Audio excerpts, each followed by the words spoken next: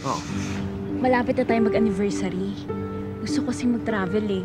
Sa ibang bansa na lang tayo mag-celebrate, ha? Kahit saan mo gusto. Okay? O, saan mo gusto mong punta? Dito, doon. Si Emma? Si Emma? Andito si Emma? Sige, punta tayo sa kasama si favorite. Wow, small world ah. Dito rin pala kayo namamasyal? Oh! Kasama ni Leon si Emma. Ang galing eh, no?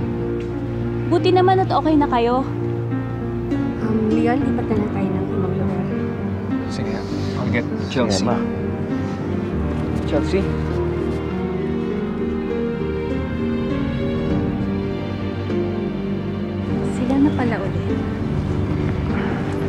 Buti naman na-realize ni Emma na sila ang bagay sa isang kasal.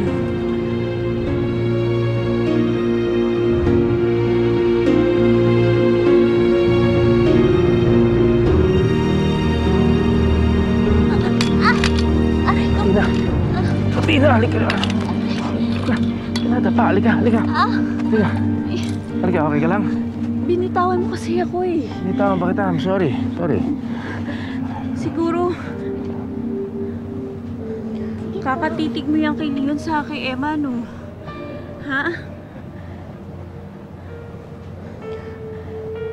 Nagsiselos ka ba?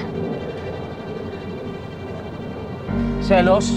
Ako ang magsiselos kanina kay... Ah... Eh bakit mo sila tinitingnan? Ta Tingnan mo na, pa- paano mo nalaman na tinitignan ko sila? Nakikita mo ba ako? Paano kita makikita? Eh, mulan na ako. Ah...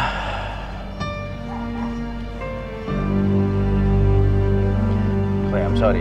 Eh, akala ko, akala mo, akala ko nakita, nakita mo ako. Pakiramdam ko kasi tinitingnan mo sila.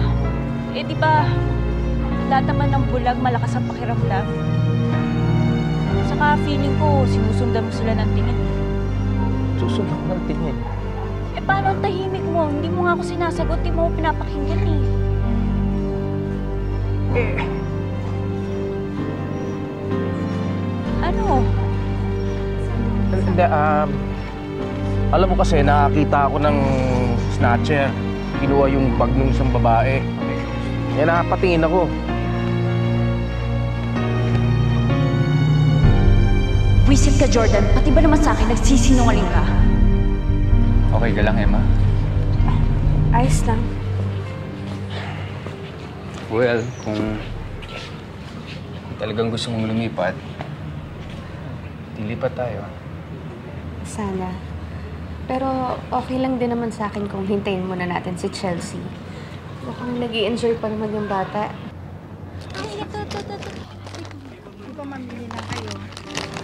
Emma, huwag ka mahihiya. Anytime pwede tayo umalis dito. Huwag mo masyado isipin si Chelsea. Ewan ko ba, Leon? Bakit gano'n? Iniiwasan ko naman si Rong pero parang pilit pa rin kami pinagtatagpo.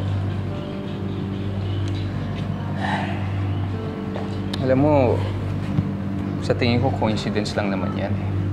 Parang hindi eh. Parang kutob ko. Sinasadya na naman ni Georgia. Why would she that? Kaligayahan niya kasi na iniinis ako. Walang hiya talaga yung Georgiang yan. Pinapakita pa sa'yo yung litrato nila ni Joe. Nakauwi na yung bruha. Opo, ma'am. Mukhang nagkakamabutihan ulit sila. May pakis-kis pang nalalaman. Emma, I mean, hindi ba bulag siya? So, paano niya malalaman na nandito ka? Yun nga eh. Siya lang yung bulag, pero kayang gawin ang lahat.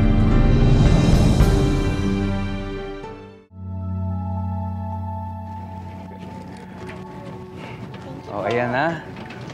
Pangilan mo na ba Ah, yan? Leon. Leon. Kumusta? Kamusta, Jordan? I mean, Rome pala. Yeah, Jordan. Ah, pwede na yan. Ah, Leon, gusto ko lang magpasalamat sa'yo dahil inaalagaan mo si Emma. Well, I care for her kaya nandito ako para sa kanya. Pero alam mo, Rome, hindi nga ako makapaniwala eh. Na meron mga ibang tao na kayang saktan si Emma. I mean, she's very, very lovely person. Hindi siya dapat sinasaktan. Napakabait niya. Tama, Dapat nga sa kanya, tinatratong special, di ba? tama, tama. So, bakit kaya siya nasasaktan? Um,